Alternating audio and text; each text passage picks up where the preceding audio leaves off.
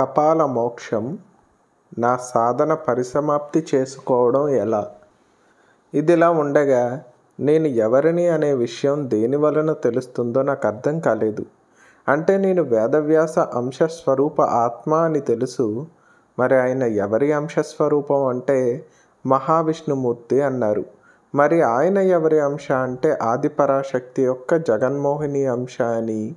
ఈమె ఎవరి అంశ అంటే మహాశివుడు అంశ అని ఈయన ఎవరి అంశ అంటే ఇష్టలింగమూర్తి శివమూర్తి అంశ అని ఇది స్వయంభూ బిందువు అంశ అని ఈ బిందువు ఒక అణువు అంశ అని ఇది కాస్త ఒక పరమాణువు అంశ అని పరమాణువు కాస్త దైవకణం అంశ అని ఇది కాస్త ఒక రేణువు అంశ అని ఇది స్వయంభూ అని బ్రహ్మరంధ్ర స్థానం వద్ద చితాగ్ని యొక్క అగ్నిశిఖ అని శాస్త్రాల ద్వారా అవగతమవుతుంది.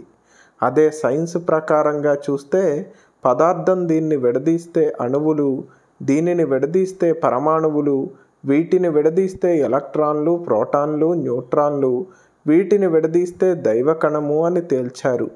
మరి స్వయంభువు అయిన ఆ రేణువు ఎవరు అంటే ఎవరి దగ్గర సమాధానం లేదు. అంటే నేను కానీ నేను ఎవరో ఎవరికీ తెలియదు. తెలిసిన వాళ్ళు అది స్వయంభూ అని మాత్రమే తెలిసినది అని నాకు అర్థమైంది. నేను ఎవరిని అనేది ఎలా తెలుసుకోవాలో శ్రీ లాహిరి మహాశైలు వారి అనుభవాల ద్వారా తెలియచేశారు. ఆజ్ఞాచక్రమునందు ఉన్న మధ్య భాగంలో త్రికోణములో ఒక బిందువు ఉంటుంది. ఇది ఏ చంద్రబింబం వంటి నాలుగు భాగాలుగా రెండు అర్ధ భాగాలుగా అర్ధనారీశ్వర తత్వం ఉంటుంది. దీనినే చతుర్థ గుహ లేదా గగన గుహ అందురు. ఇందులో స్థిర గృహము అనగా గుణచక్రం అన్నమాట ఆ తర్వాత అగమ్య గృహము అనగా కర్మచక్రం అన్నమాట ఆ తర్వాత అక్కడ నుంచి అజర గృహము అనగా కాలచక్రము. ఆ తర్వాత అక్కడి నుండి అమరగృహానికి అనగా బ్రహ్మచక్రానికి చేరుకుంటారు. అప్పుడు మహాశూన్యం రూపుడైన ప్రభువు బ్రహ్మదేవుడు మాత్రమే దర్శనమిస్తాడు. అక్కడ నుండి ఈయన పుట్టుకకు కారణమైన మహావిష్ణువు దర్శనం కోసం సూర్యలోక ఒక బిందువులోనికి అనగా ఈ బ్రహ్మచక్ర మధ్య బిందువులోనికి ప్రవేశిస్తే అప్పుడు సహస్రార చక్రకమలంలోని అనగా మహాశూన్యకారకమైన అతి శూన్యమునకు వెళ్ళాల్సి ఉంటుందని ఇక్కడ శ్రీకృష్ణుడి లీలామాయ ఉంటుందని దీనిని దాటితే అతి కష్టమైన ఇరుకైన దారి కనపడుతుందని చెప్పి ఆపివేశారు. అక్కడ రమణ మహర్షి అనుభవాలను బట్టి ఇదియే జీవనాడి అని దీని ఒక కొన హృదయ చక్రమును కలుపుతుందని ఈ జీవనాడిలో హనుమంతుల వారు యోగ సాధన చేసుకుంటూ దర్శనం ఇస్తారని హృదయ చక్రమునందు అంగుళ పరిమాణంలో సంకల్ప శరీరధారి అయిన అనంత పద్మనాభుడు ఒక చేతిలో ఇష్టలింగమూర్తి పెట్టుకుని యోగ నిద్రావస్థలో అనగా బ్రహ్మ తదాకార స్థితిలో దేనికి స్పందించని స్థితిలో ఉంటాడు అని అక్కడున్న హృదయ గ్రంథి వద్ద అనగా చిన్నమస్తాదేవి చేతిలో కారణ శరీరం తల నరకబడితే అక్కడ అంగుళ పరిమాణం ఉన్న సంకల్ప శరీరం బయటకు వస్తుందని దీనితో ఇరుకైన గొట్టము అనగా శ్రీకాల భైరవుడు నోటియందు ఉన్న గొట్టము వంటి మార్గం కనపడుతుందని దీనిలోనికి రేణువు అంత పరిమాణములో సంకల్ప శరీరమును మార్చుకొని ప్రయాణించగలిగితే అప్పుడు బ్రహ్మరంధ్రం వద్దకు చేరుకుంటామని. ఇక్కడ యోగ పతంజలి మహర్షి అనుభవాలు చూస్తే బ్రహ్మరంధ్రము వద్ద వరివడ్లు యొక్క ముక్కు పరిమాణంలో చితాగ్ని స్వరూప దర్శనం ఇస్తుందని అధిదేవతగా దీపదుర్గ ఉంటుందని ఈమె మానవ ఆది జన్మ కపాల మోక్ష ప్రదాతగా ఉంటుందని ఇక్కడ ఈమె పెట్టే సహనశక్తి యోగమాయ పరీక్షను సాధకుడు మూడు నిమిషాల నుండి తొంభై ఆరు నిమిషాల పాటు తట్టుకోగలిగితే అప్పుడు ఆది బ్రహ్మానక బ్రహ్మకపాల మోక్షప్రదాత అయిన ప్రత్యంగిరా దేవత దర్శనం లభిస్తుందని ఈమె మహామాయావి అయిన మహావిష్ణుమూర్తి యొక్క నరసింహస్వామి యొక్క స్త్రీమూర్తి స్వరూపము అయిన ఈ ప్రత్యంగరామాత యొక్క కాలు క్రింద ఉన్న ఆది బ్రహ్మ కపాలం విస్ఫోటనము చెందితే ఈ విశ్వసృష్టి స్థితి లయ పరిపూర్ణముగా అచేతన స్థితిలోకి శాశ్వతంగా వెళ్ళిపోతాయని వారి అనుభవాల ద్వారా నాకు తెలిసింది. అంటే మనము ఆజ్ఞాచక్రములోని త్రికోణము మధ్యలో ఉన్న బిందువు వంటి చంద్రుడిని అనగా చంద్రలోకం చేరుకోవాలి. అక్కడున్న వివిధ దైవమాయలు దాటితే మనకి ఇక్కడ ఉన్న చతుర్థ గుహలోని నాలుగు గదులుగా అనగా గుణ కర్మ కాల బ్రహ్మచక్రాల యొక్క వరుసగా గుణాతీత స్థితి కర్మాతీత స్థితి కాలాతీత స్థితి జ్ఞానాతీత స్థితి పొందాల్సి ఉంటుంది. అప్పుడు మనకి బ్రహ్మచక్రమునందు ఉండే విశ్వం యొక్క మహాశూన్యము దర్శనమిచ్చును. ఇక్కడ మనకి శూన్య బ్రహ్మ వస్తుంది. ఇక్కడి నుండి ఈ చక్రబిందువు అయిన సూర్యుడు అనగా సూర్యలోకానికి వెళితే అనగా సహస్రార చక్రమునకు చేరుకోవాలి. ఇందులో శ్రీకృష్ణుడి లీలామాయ వెయ్యి సహస్ర లోకాలు అన్నీయు పరమశూన్యములో ఉన్నట్టుగా దర్శనమిస్తాయి. మహావిష్ణువు సహస్ర శిరస్సులతో సహస్ర చేతులతో దర్శనమిస్తాడు. మరొక పక్క సంభ్రమాశ్చర్యములతో సహస్ర కాళ్ళతో విశ్వరూపంతో మహాశివుడు కైలాస పర్వత దర్శనం ఉంటుంది విశ్వరూపధారిగా మహావిష్ణువు మానస సరోవరంలో ఉంటాడు. ఒకరు వెలుగు ప్రపంచానికి విష్ణుమూర్తి అధిపతిగా ఉంటే చీకటి ప్రపంచడా ప్రపంచానికి మహాదేవుడు అధిపతిగా ఉంటారు.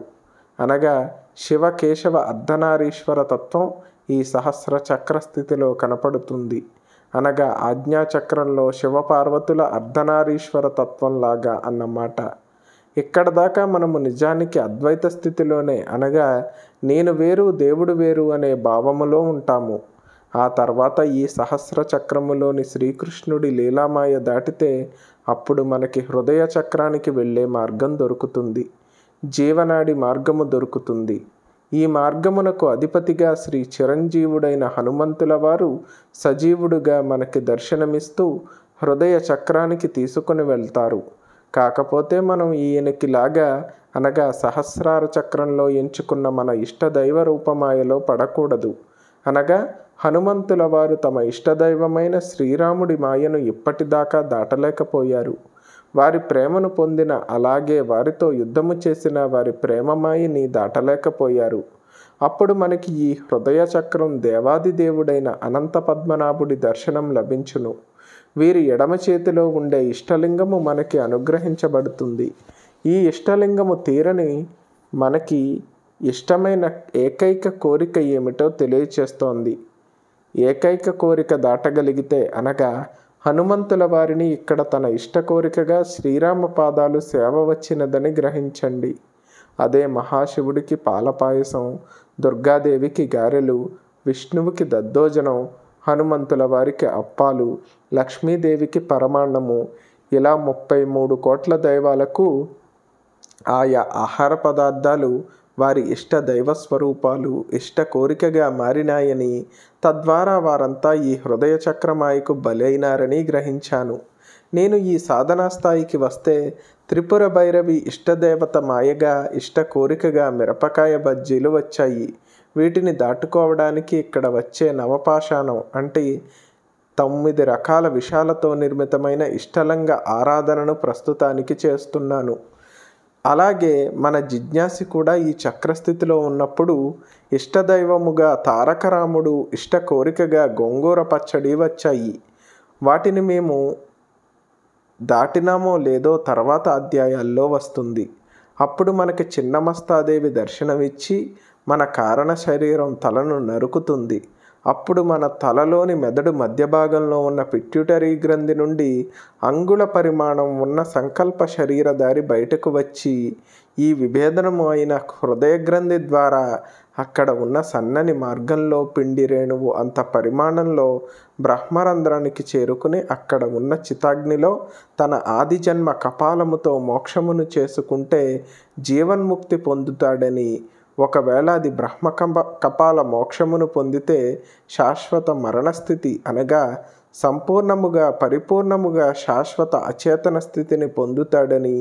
అదే ఆది జన్మ కపాల మోక్షం పొందలేకపోతే మహావిష్ణువులాగా ఆరు నెలల పాటు అచేతన స్థితికి అనగా యోగనిద్ర స్థితి అని మరో ఆరు నెలలు చేతనాస్థితి అనగా భోగ నిద్రాస్థితి పొందడం జరుగుతుందని అనగా తొలి ఏకాదశి నాడు ఈయన యోగ నిద్రలోనికి వెళ్ళడము అలాగే ముక్కోటి ఏకాదశి నాడు ఈయన ఈ నిద్ర ఈ నిద్ర నుండి బయటకు రావడం జరుగుతుందని నాకు అవగతమైనది.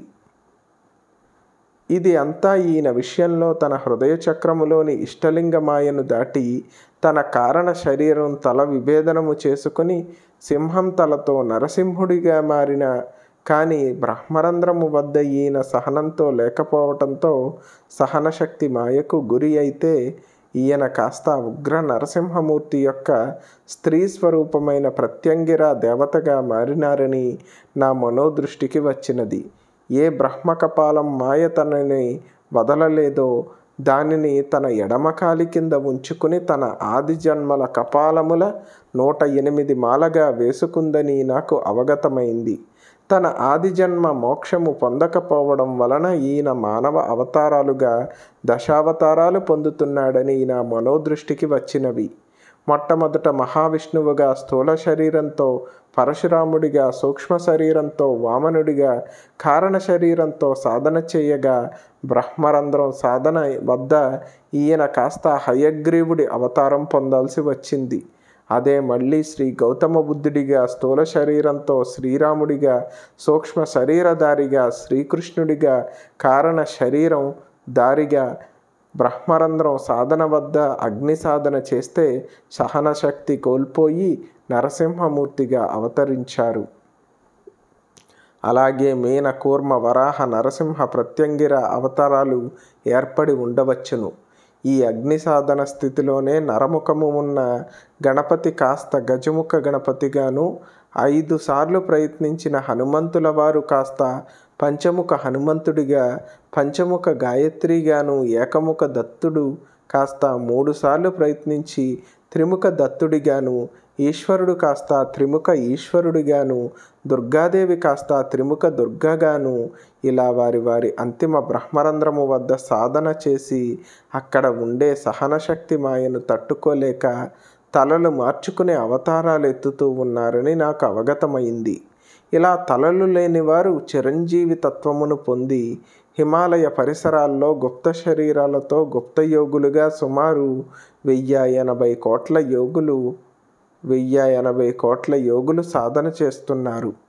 తమకి ఆది బ్రహ్మ స్వరూపాలు ముప్పై ఆరు కోట్ల దైవ స్వరూపాలు ఎనభై నాలుగు లక్షల జీవజాతులు వెయ్యి ఎనభై కోట్ల వివిధ రకాల యోగులు ఎదురు చూస్తున్నారని నాకు అవగతమయ్యేసరికి నాలో నాకే తెలియని వణుకు భయము దడ మొదలైంది.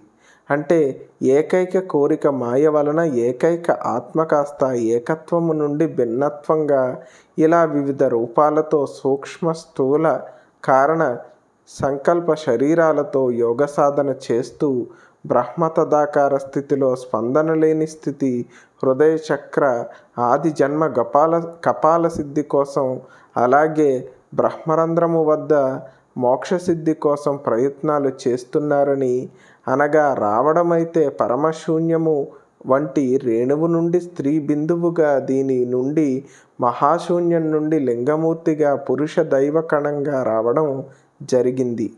ఈ రెండూ కూడా కలిసిన అర్ధనారీశ్వర తత్వం లేదా శివకేశ తత్వంగా మారిన ఏకతత్వ స్థితికి చేరడం లేదని భిన్నత్వము కాస్త తిరిగి ఏకత్వం స్థితిలోనికి అనగా పరమశూన్యంలోనికి శూన్యంగా మారడం లేదని రేణువుగానే ఇరవై నాలుగు అడుగుల శరీరము నుండి శరీరము లేదని పిండి రేణువుగా మారినను ఈ శూన్య స్థితిని పొందలేక శూన్య బ్రహ్మగానే మిగిలిపోతుందని నాకు స్ఫురణ అయినది. అంటే అనంత పద్మనాభుడి కమలం నుండి వచ్చిన సృష్టి బ్రహ్మ కాస్త శూన్యంలో కలిసిపోకుండా అనంత పద్మనాభుడు మహాశూన్యం అనుకుంటే రేణువుగా మారి శూన్య బ్రహ్మగా అంటే ఏకైక కోరిక కోసం ఏకైక ఆత్మగా శూన్య బ్రహ్మగా మారిపోతున్నాడు. ఈ పిండి రేణువు నుండే పంచముఖ గణపతిగా అవతారం జరిగినది కదా. నేను అనేది నేను కానీ నేనుగానే మిగిలిపోతుంది. నేను అనేది కాస్త నీది నాది మనది అనే త్రిమూర్తుల స్వరూపములుగా మారి సృష్టి స్థితి లయములలో నిజంలాంటి కళను నడుపుతున్నాయి. అసత్యము లాంటి దానిని సత్యముగా చూపుతున్నాయి. భ్రమ భ్రాంతి మాయలలో మర్మాలు చేస్తున్నాయి. ఈ విషయం నేను అనేది మరచిపోయి నేను కాని నేనుగా మారకుండా మాయ వలన నీది నాది మనదిగా మారి ఈ విశ్వ సృష్టిని నడిపిస్తోంది. నేను అనేదానికి తను ఏమిటో ఎరుక అయితే గాని మాయ మాయం అవ్వదు. అంటే ఈ విశ్వమంతా ఉన్నదంతా నేను అనేదన్నమాట ఏకైక ఆత్మస్వరూపం అన్నమాట నేను కానిది లేదు నేను లేనిది లేదు. నేను ఇన్నాళ్ళు మాయ మాయ వలన నేను కాదు అనుకుని నేను కానీ నేను ఉన్నదని దాన్ని ఆత్మ అని భగవంతుడిని పరమాత్ముడిని గురువు దైవము అని పేరు పెట్టుకుని తనకి తానే వేరు వేరుగా అయిపోయింది మాయలో పడిపోయింది. తల్లి గర్భము నుండి బిడ్డ వచ్చినట్లుగా నేను కానీ నేను నుండి నేను బయటకు వచ్చిన అనంత పద్మనాభుడి బొడ్డు వద్ద ఉన్న మణిపూరక చక్రం కమలము నుండి విశ్వసృష్టి బ్రహ్మ వచ్చి బ్రహ్మ వచ్చి వేరుపడినట్లుగానన్నమాట. నిజానికి తల్లికి ఆ పిల్ల నుండి పుట్టిన బిడ్డకి ఎలాంటి తేడా ఉండదు. కానీ ఆ మాయ వలన స్త్రీ పురుష లింగ భేదం హృదయ చక్రం వద్ద ఉన్న ఇష్టలింగం చేస్తోందని కోరిక కలిగితే కానీ అది ప్రేమ సంతానం కావాలనే కోరిక కలిగితే కానీ అది ప్రేమ మోహం వ్యా వ్యామోహము వ్యామోహాలుగా మారి కామమాయకి గురై స్త్రీమూర్తిని చేరి సంతానం పొందడం జరుగుతుంది కదా. అసలు సంతానం కావాలని కోరిక లేకపోతే ఈ విశ్వ ఈ విశ్వ జన్మ చక్రాలు ఉండేవి కాదు కదా. అంటే ఒక రకంగా ఎవరికి వారే తమ ఆది జన్మ అయిన నేను నుండి ఒక కోరిక మాయలో పడి ఈ విశ్వములో తమ ఇష్ట లోకాలు ఏర్పరచుకున్నట్లుగా వాటిలో ఉండునట్లుగా వాటిలో పడిపోతున్నట్లుగా ఊహించుకుంటూ కలలు కంటున్నారు. అంటే నేను అనేది తన ఇష్ట కోరిక అంటే తనకి సహచర్యం కావాలని అనుకోవటంతో నిజము లాంటి కల వంటి విశ్వ ప్రపంచము రకాల శరీర వాసులు ఇలా ఊహా ప్రపంచం ఏర్పడి ఎవరికి వారే ఈ లోకంలో ఇలాంటి అసత్య బ్రతుకులు బ్రతుకుతున్నారన్నమాట ఇందులో ఏవి నిజము కాదు ఏవి సత్యము కాదు నేను అనేది ఉండటము సత్యము.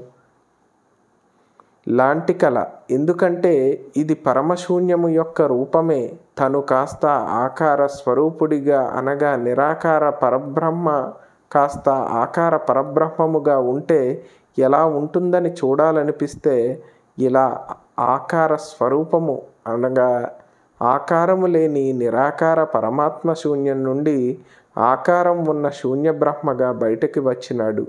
అది కూడా ఆత్మస్వరూపముతో వచ్చి అది కాస్త స్త్రీ పురుషులుగా విభేదనము చెంది అవి కాస్త చేరి మూడు పురుష త్రిమూర్తులు మూడు స్త్రీ స్వరూపాలు త్రిశక్తులుగా రూపాంతరముగా ఇవి కాస్త దృష్టి ఇవి కాస్త సృష్టి స్థితి లయ అంటూ మాయకర్మలు సృష్టించుకొని ఇచ్ఛా క్రియ జ్ఞానశక్తుల వంటి త్రిగుణ మాయలను సృష్టించి బ్రహ్మాండాలు అండాలు పిండాలు అంటూ జీవక్రియలు చేస్తున్నట్లుగా కలలు కంటూ నేను కలలు కంటూ నేను దుంప తెంచినాయి. అసలు విషయము మర్చిపోయేటట్లు చేసినాయి. అంటే ఇది అంతా ఎలా ఉంది అంటే ఒక యోగి మహాశివరాత్రి నాడు గంగా స్నానం చేద్దామని స్నానానికి వెళుతూ తన ఇష్టమైన కమండలము ఆ నది ఒడ్డున ఉంచి దాని మీద గుర్తుగా మట్టితో లింగములాగా కప్పిపేసి స్నానానికి వెళ్ళిపోయాడు.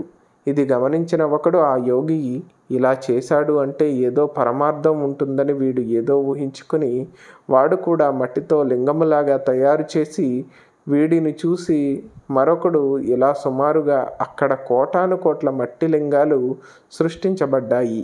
ఇంతలో స్నానానికి వెళ్ళిన యోగి తన కమండలము తీసుకుందామని వచ్చేసరికి తను చేసిన మట్టి లింగం లాంటివి కోటాను కోట్లుగా కనిపించేసరికి అందులో తన మొదటి లింగం ఏదో తెలుసుకోలేక తన కమండలమును మరవలేక వదిలిపెట్టలేక ఎప్పటికైనా అది కనపడకపోతుందా అని ఎదురు చూస్తూ ధ్యాన స్థితిలో ఉండిపోయాడు.